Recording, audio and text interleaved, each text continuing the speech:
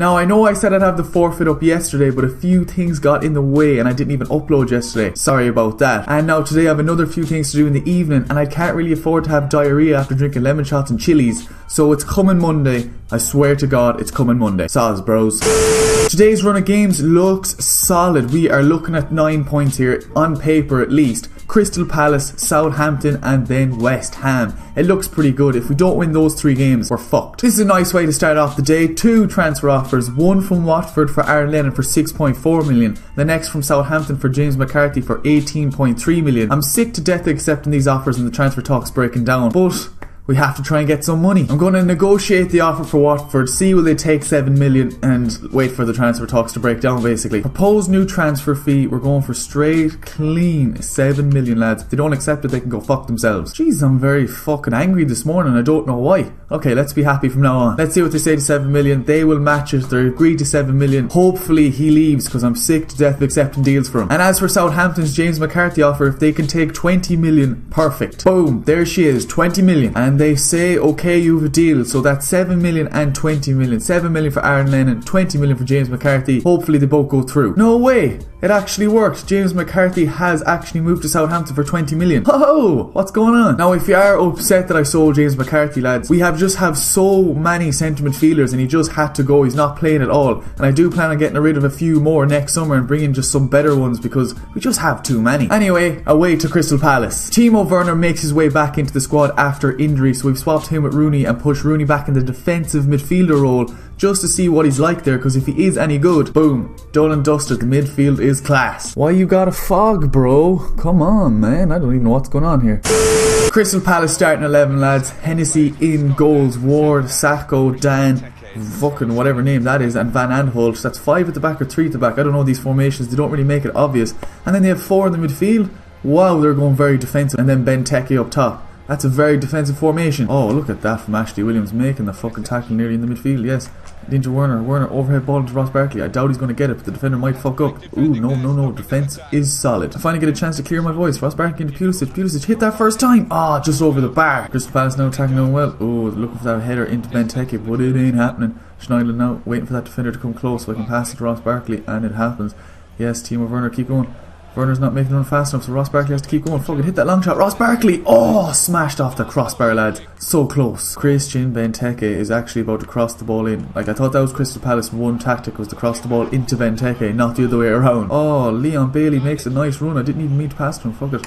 Hit the Berba spin. Oh, it's not even a Berba spin. It's even better. Yes, great ball to Ross Barkley. Hit the shot. Ah, my God, that's way too slow. Crystal Palace get a corner. Presume it's their one shot at actually scoring because they're playing shit outfield and we just get it away. We're too good for them. Now, let's say it's Ross Barkley, lads. We're playing so good. We just can't finish the ball. And then I say that and Ross Barkley makes the absolute worst pass I've ever seen. Go with that. And a nice ball into Werner. Werner hit that 1 2 with Leon or Ross Barkley. Fuck it, hit the shot. Yes, falls well to Pulisic. Oh, my God. Crystal Palace are actually the blocking kings. Tries to turn him. Doesn't work out. You're not turning Seamus Coleman. Yes, Ross Barkley's gone in the centre. Look at that, lads. They block everything I try to do. This is crazy, man. Crystal Palace are actually solid in defence. Okay, now they're trying to be solid in attack. 55th minute is based their first attack. They get a good header in. Oh, Pickford with the reaction save. Looking at the players that could possibly change this game, and these are the three I've gone for. Sigurdsson in for Barkley, Bolasie in for Pulisic, and then Klaassen in for Rooney. Rooney didn't really play well in the defensive midfielder role, but fuck it, at least we tried. Sigurdsson on the corner. Can he just swing one in on someone's head? Come on, boys. Get a head on it. Davy Klaassen. Oh my god, it's actually gone in. Davy Klaassen has scored the goal. We just could not finish the ball. Crystal Palace were defending unreal,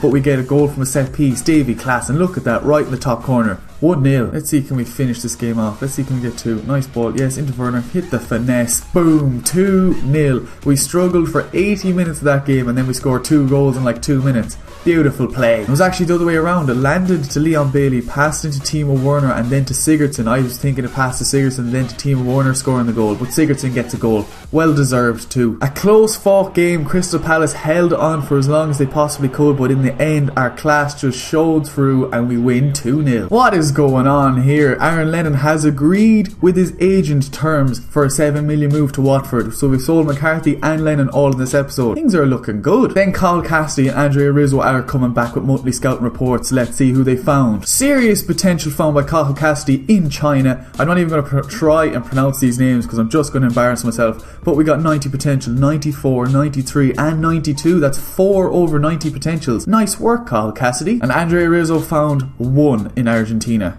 He better be good. But that leads us up to our game away to Southampton. I have to give credit where credit is due. Sigurdsson and Klaassen both started in this game because they saved us in the last one. Sigurdsson with a goal and an assist and Klaassen got the goal. Southampton squad for today, Taylor and goals. No idea who that is. We got Pied. What the fuck, lads? Pied. What a name that is. Davis, Romeu, pretty decent two defensive midfielders uh, Tadic, Nathan Redmond. Surprised he's still with Southampton. He's a solid old left winger. And then Charlie Austin up front. Nice squad. Can we start this game off a lot better than the Crystal Palace game? Timo Werner, that was kind of a 1 2 that you're supposed to do there, but fucking he finally gets it back. Oh, he goes in. Can we pass in the centre? We do! Oh, what a save! Leon Bailey goes all the way up to Seamus Coleman. Yes, but there's a bit of space here for Sigurdsson. Sigurdsson, nice run by Leon Bailey. If we can get it to him, we do. Oh, that's surely a goal. Leon Bailey, boom! That's what I'm talking about. Leon Bailey was just playing all over the pitch today for some reason but he finally ends up back where he belongs and gets the goal. Playing some serious football today. Sigurdsson is on fire. Look at that for a through ball. Left the defender for dead. 1 0 up. Corner kick to Southampton 25 minutes in. We have to clear it or else we're going to be 1 all and I don't want that. Virgil van Dijk gets the header but it gets away. Into Davy Klaassen. Davy Klaassen right down to Leon Bailey. Yes, back in the centre to Sigurdsson. Boom. Into Werner and one more to Bailey. Can he get two? Take a touch. Double tap that. Bailey 2 0. He is on fire. The right back simply can't handle him. He is way off anytime Leon Bailey gets the ball, hits a 1 2, that right back goes mental. Sigurdsson into Werner, and then Werner supplies the assist for Leon Bailey. Quality start to a game 2 0. Cuts right by that defender. Sigurdsson, hit your long shot. Ooh, oh, just why Keeper was struggling. Bringing on the Runester instead of Werner, and then we're changing our two defensive midfielders to Besic and Gueye just to give them a run because they're always on the bench lately. Oh, Seamus Coleman have to be better clearance than that. Great ball in. Nathan Redmond gets the head on it. Great cross in. We should have cleared it, no doubt. Seamus Coleman just didn't do it. Well, it technically was me controlling him, but I have to blame someone. Now we have to analyse our mistakes. A great ball in, in all fairness. Seamus Coleman, oh, it's not good enough. And then two head, a headed assist into a head goal. Pretty nice. Close call in the end. Southampton got a goal in the last 10 minutes, but they never really trouble us the whole entire game, so it's pretty much a comfortable 2 1 win. And then in classic FIFA style, we have to play West Ham at home two days later. And naturally, because we only played two days ago, the starting 11 isn't fit, but we can still throw out a half decent squad. This is our second squad, and I'm still pretty confident about winning this game. Niasse with Rooney just behind him, Lennon and Bolasie out the wings. I know we sold Lennon already, but we might as well use him. He's not going till January. Same with McCarthy, and then we're putting Besic right beside him. And then the back line is Hendricks, Jagielka, Funes Mori, Lukaku, and then Stekelenburg in goals. Still a pretty decent squad though. Okay, this is the West Ham squad. Adrian goals. The back line is pretty much average. Winston Reid's in there. Mark Noble is still on the pitch, which is pretty weird. And then their striker is Antonio. It's just a basic West Ham squad. It's always going to be decent enough anyway. Jordan Lukaku, that's your ball. Oh my god, we're actually playing shit. They tried to turn us. Oh, it's great bowling. Can we get this away? Oh, that was nice. And that was nearly on Arnautovic's head. And he is massive. Come on, Hendricks. This is your time to shine. This is your time to shine. If you get an assist from here, you're starting the next game. Oh my god, Hendricks has to start the next game. I said it out loud, and Jordan Lukaku ends up getting the goal. My right back assisted my left back. Okay, now Hendricks has to start the next game because I did say if he got the assist, he gets the next start. So there it is, boys. 1 0. I don't know what planet this referee's on, but that wasn't a free kick. And if we concede from it, I'm going to go wild. Oh, okay, it's all good. It's okay. Referee's safe for now. McCarthy into Rooney. Hit that finesse, Rooney. Oh, okay, back up to McCarthy again. Yes, hit the first time shot. Oh, nice save by Adrian. Three substitutions, lads. Bringing on Sandro instead of Niasse because he's not playing well at all. Bringing on Lookman because I'm trying to improve his stats. And we're also bringing on one of our youth academy players called Santoro. Centre defensive midfielder, 60 rated. Looking pretty good. Come on, boys. Get this away. Oh my god, it's actually gone in. As soon as we make the substitutions, Antonio scores. I think that's their first shot the whole entire game. I'm actually nearly convinced that's their first shot. I told you, lads. It's actually their first shot. It took them the 69th minute to get one shot and it ends up being a goal. Okay, Lookman, nice one into Santoro.